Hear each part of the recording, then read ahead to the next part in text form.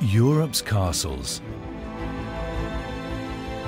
On the trail of the European aristocracy, we investigate France's Loire Valley, Germany's Baden-Württemberg, the south of England, Italy's Piedmont, and the castles around Lisbon in Portugal.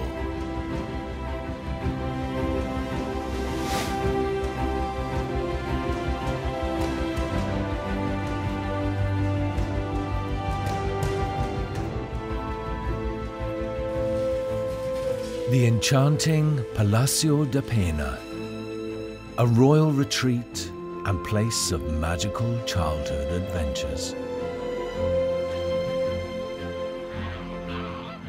Tagus saltfields, the last vestiges of a dying tradition. Kings once paid soldiers with this white gold. Mafra Monastery and Palace. The power of knowledge is still revered here.